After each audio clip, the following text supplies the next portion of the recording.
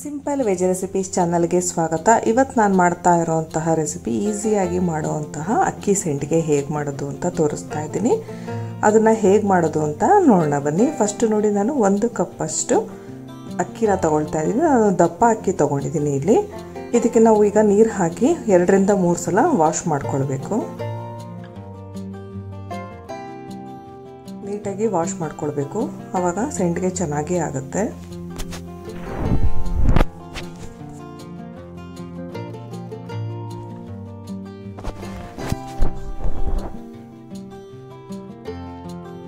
Wash ಮಾಡ್ಕೊಂಡಾಗಿದೆ. ಈಗ ನಾನು ನೆನೆಸಕ್ಕೆ ಇಡ್ತಾ ಇದ್ದೀನಿ. ನೆನೆಸೋದಕ್ಕೂ ಅಷ್ಟೇ ನಾನು ನೀರು ಹಾಕ್ಕೊಳ್ತಾ ಇದ್ದೀನಿ. ಮತ್ತು ಇದಕ್ಕೆ ಸಬ್ಬಕ್ಕಿನ ಒಂದೆರಡು ಸ್ಪೂನ್ನಷ್ಟು ಹಾಕ್ಕೊಳ್ತಾ ಇದ್ದೀನಿ.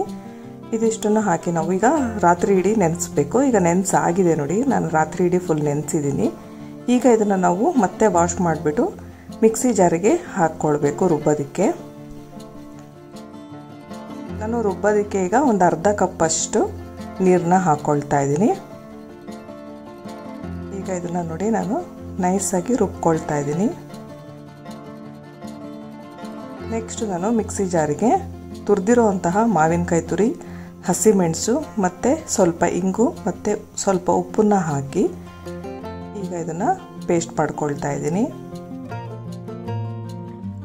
ಈಗ ನೆಕ್ಸ್ಟು ನಾನು ಬೇರೆ ಒಂದು ಪಾತ್ರೆಗೆ ಸ್ವಲ್ಪ ದೊಡ್ಡ ಪಾತ್ರೆ ಇಟ್ಕೊಳ್ಬೇಕು. ನಾನು ಒಂದು ಕಪ್ಪಿಗೆ ಈಗ ಏಳು ಕಪ್ಪಷ್ಟು ನೀರನ್ನ ಹಾಕ್ಕೊಳ್ತಾ ಇದ್ದೀನಿ. ಇನ್ನು ಅರ್ಧ ಕಪ್ಪು ಆಲ್ರೆಡಿ ನಾನು ರುಬ್ಬೋದಕ್ಕೆ ಯೂಸ್ ಮಾಡಿದ್ದೀನಿ. ಇನ್ನು ಅರ್ಧ ಕಪ್ಪನ್ನ ಆಮೇಲೆ ನಾನು ಮಿಕ್ಸಿ ಜಾರ್ಲ ತೊಳೆದ್ಬಿಟ್ಟು ಹಾಕೋಕ್ಕೆ ಯೂಸ್ ಮಾಡ್ತೀನಿ.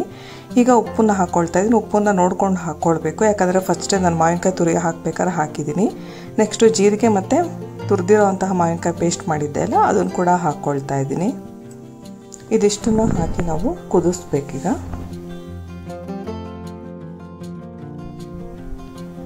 ಈಗ ಇಲ್ಲೂ ಅಷ್ಟೇ ಸ್ವಲ್ಪ ನೀರು ಹಾಕ್ಕೊಳ್ತಾ ಇದ್ದೀನಿ.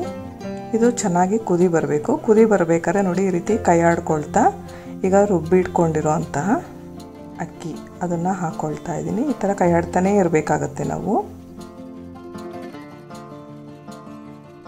ಈಗ ನೋಡಿ ನಾನು ಇನ್ನರ್ಧ ಲೋಟದಷ್ಟು ನೀರನ್ನ ಇಲ್ಲಿ ಹಾಕ್ಕೊಳ್ತಾ ಇದ್ದೀನಿ. ಟೋಟಲಾಗಿ ನಾನು ಎಂಟು ಕಪ್ಪಷ್ಟು ನೀರನ್ನ ಹಾಕ್ಕೊಳ್ತಾ ಇದ್ದೀನಿ. ಸ್ವಲ್ಪ ನೀರಾದರೂ ಪರವಾಗಿಲ್ಲ. ನಾವು ಸ್ವಲ್ಪ ಚೆನ್ನಾಗಿ ಜಾಸ್ತಿ ಬೇಯಿಸಿದರೆ ಆಯಿತು. ಈಗ ನಾವು ಇದನ್ನು ಕೈಯಾಡ್ತಾನೆ ಇರಬೇಕು ಎಲ್ಲಿವರೆಗೆ ಅಂದರೆ ಇದು ಸ್ವಲ್ಪ ಕಲರ್ ಚೇಂಜ್ ಆಗುತ್ತೆ, ಅಲ್ಲಿವರೆಗೆ ನಾವು ಕೈ ಆಡ್ತಾ ಇರಬೇಕಾಗತ್ತೆ ಆವಾಗ ಗಂಟಾಗೋದಿಲ್ಲ. ಈಗ ನೋಡಿ ಇದು ಸ್ವಲ್ಪ ಕಲರ್ ಚೇಂಜ್ ಆಗಿದೆ. ಈಗ ಇದನ್ನು ನಾವು ಸಣ್ಣ ಉರಿಯಲ್ಲಿ ಒಂದು ಹತ್ತರಿಂದ ಹದಿನೈದು ನಿಮಿಷ ಬೇಯಿಸಬೇಕಾಗತ್ತೆ. ಟೋಟಲ್ಲಾಗಿ ನಮಗೆ ಇದು ಮಾಡೋದಕ್ಕೆ ಒಂದು ಅರ್ಧ ಗಂಟೆ ಟೈಮ್ ಬೇಕಾಗುತ್ತೆ. ಅಲ್ಲಿವರೆಗೆ ನಾವು ಇದನ್ನು ಚೆನ್ನಾಗಿ ಈ ರೀತಿ ನೋಡಿ ಬೇಯಿಸ್ಕೊಳ್ಬೇಕು. ಚೆನ್ನಾಗಿ ಬೆಂದರೆ ಅಷ್ಟೇ ನಮಗೆ ಇದು ಸೆಂಡಿಗೆ ಚೆನ್ನಾಗಾಗುತ್ತೆ, ಇಲ್ಲಾಂದರೆ ಒಡೆದು ಬಿಡುತ್ತೆ. ಈಗ ಇದಾಗಿದೆ. ನಾನಿಲ್ಲಿ ಮಾಮೂಲಿ ತಿಂಡಿ ತಿಂತೀವಲ್ಲ, ಆ ಥರ ಸ್ಪೂನ್ನ ಯೂಸ್ ಮಾಡ್ತಾ ಇದ್ದೀನಿ ಸೆಂಡಿಗೆ ಹಾಕೋದಕ್ಕೆ. ಈಗ ನೋಡಿ, ನಾನು ಬಿಸಿಲಲ್ಲಿ ಒಂದು ಕಾಟನ್ ಬಟ್ಟೆ ಹಾಕಿಬಿಟ್ಟು ಸೆಂಡಿಗೆ ಹಾಕ್ಕೊಳ್ತಾ ಇದ್ದೀನಿ. ನೀವು ಸಣ್ಣದಾಗಾದರೂ ಹಾಕ್ಕೊಳ್ಬೋದು ಅಥವಾ ದೊಡ್ಡದಾಗಿ ಕೂಡ ಸೆಂಡಿಗೆ ಹಾಕ್ಕೊಳ್ಬೋದು ನಿಮಗೆ ಯಾವ ರೀತಿ ಇಷ್ಟನೋ ಆ ರೀತಿ ನಾನು ಎರಡು ಥರನೂ ಹಾಕಿ ತೋರಿಸ್ತೀನಿ ನೋಡಿ.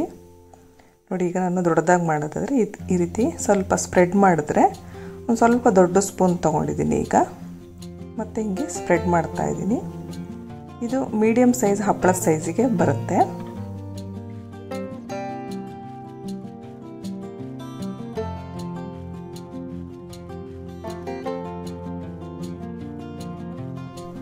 ನೋಡಿ, ಈಗ ನಾನು ಫುಲ್ ಹಾಕಾಗಿದೆ. ಇದನ್ನು ನಾವು ಎರಡು ದಿವಸಗಳ ಕಾಲ ಬಿಸಿಲಲ್ಲಿ ಒಣಗಿಸ್ಬೇಕಾಗತ್ತೆ.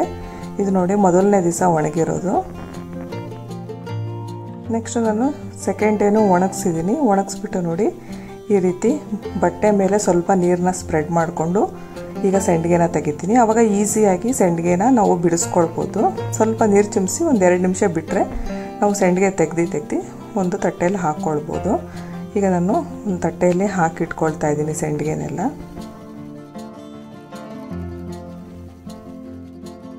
ಈ ರೀತಿ ನೋಡಿ ಇಷ್ಟ ಆಗಿದೆ. ಇದನ್ನು ಮತ್ತೆ ನಾವು ನೆಕ್ಸ್ಟ್ ಡೇ ಒಂದು ಟೂ ಅವರ್ಸು ಒಣಗಿಸ್ಬೇಕಾಗತ್ತೆ.